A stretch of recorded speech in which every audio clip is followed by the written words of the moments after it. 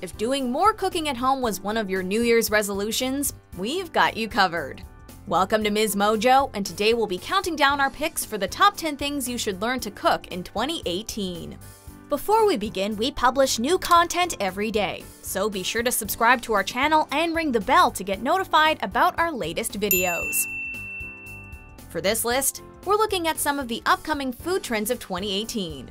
But we're also including some classic recipes that you should try if you haven't mastered them yet. Number 10. Banana Bread This not quite dessert yet not quite regular bread is an old school classic and people have been giving them as hostess gifts for generations. It's my understanding that an unsolicited gift of food can be a precursor to an impromptu invitation to come in and chat. It's a super easy recipe to learn. And when you want to bring something home baked to a potluck, it's the perfect crowd pleaser. Hey neighbors, I made you some banana bread. Hey, oh, I love banana bread. Not to mention, it gives you something to do with all those frozen brown bananas you've been keeping in your freezer just in case. And other than the bananas, all the other ingredients are pantry staples, so you can hopefully even avoid making a trip to the store. Number 9. Chickpea Salad If you're trying to eat less meat this year, you've probably encountered some challenges when it comes to preparing lunch for yourself. Salads are great and all, but sometimes you want something a little heartier. I prefer chickpea. Because it's lower in sodium? Yes, exactly. Okay. Making chickpea salad sandwiches as alternatives to chicken salad sandwiches will give you the dose of protein you need midday. Of course, you can use the canned stuff in a pinch, but buying dried chickpeas and soaking them not only saves you money, but also makes for a much more versatile ingredient. God bless a chickpea.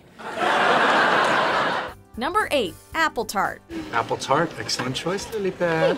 Marshmallow. This dessert is a little more ambitious than some of the entries on our list today, but it has an end result that is sure to wow. Well, what about the apple tarts? You wait all year for those apple tarts. I can live without the apple tarts. You've made up songs after eating five of them with lyrics that contradict that last statement. The rose petal shaped layout of the apple slices on top is a real showstopper, and will make your friends wonder when you became such a master baker. Making your own tart shell is key for the authenticity of the dish, but while you're practicing, it wouldn't be the end of the world to just use a pre-made pie crust.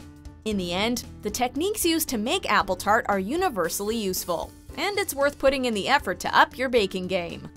Number 7. Roasted Vegetables Did you grow up eating boring old steamed vegetables as a side dish with your dinner every night? And a very special, very delicious steamed vegetable dish for Chris.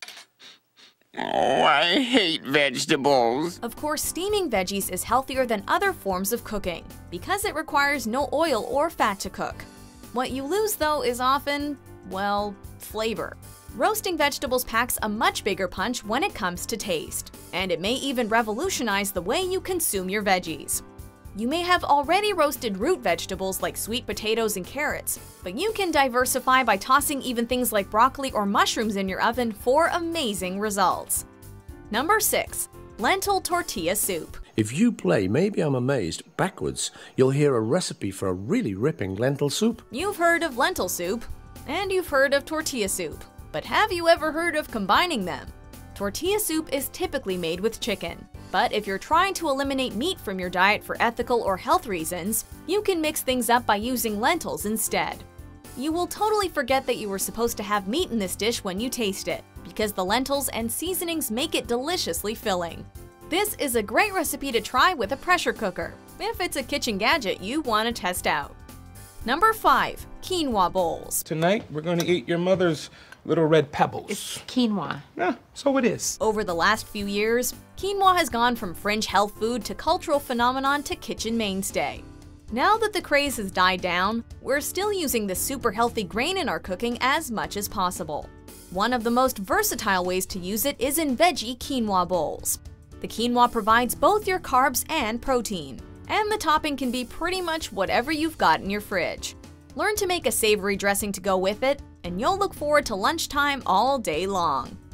Number 4. Bell Pepper Tacos We're betting that lots of you are trying to cut carbs in 2018, since evidence is snowballing that shows how beneficial a low-carb, high-fat diet can be. Although we know nutritional advice changes almost every day, right? It's tangy like a pepper, but crunchy like a bell. Bell pepper! Don't worry though. that doesn't mean you have to do away with taco night altogether. Rather than using corn or wheat tortillas, though, assemble your taco fixins in a pepper instead. I think I will have the for whom the stuffed bell pepper totals. You'll still get all the amazing flavors you expect, but in a way that's more veg heavy and gluten free. Enjoy your fiesta! Number 3. Instant Pot Recipes. If you dread how long it takes to get dinner ready after work every day, then we've got the kitchen appliance for you. The Instant Pot is a gadget that claims to take over the jobs of seven of your standard kitchen tools. It sounds almost too good to be true, but it actually is an amazing device. And the best part is, it retails for around $100, on sale at least. This multifunctional pressure cooker can make preparing rice and steel cut oats a breeze, and can even replace your slow cooker for dishes like pulled pork or ribs. Give it a try, and we think you won't be disappointed. Number 2. Chicken Parm. This Italian American classic is a staple in restaurants. But did you know that it's not all that hard to make at home? Remember, we went to the restaurant that first night and you ordered chicken parmesan, so I drew you a plate. Um, there's the chicken, the cheese. All you need to do is master the art of breading meat, do a little shallow frying, and voila! Your chicken is ready to be put in a bed of marinara sauce, smothered with cheese, and baked to perfection. It's a great choice if you're hosting a dinner party and want to offer up some indulgent comfort food.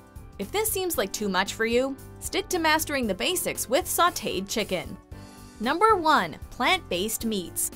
One of the biggest food trends predicted for 2018 is all about meats scientifically created without harming a single animal in the process. Obviously, this is an appealing concept for anyone concerned with animal rights and the environment. The problem is, many of these products haven't even hit the market yet, which means we're left experimenting at home.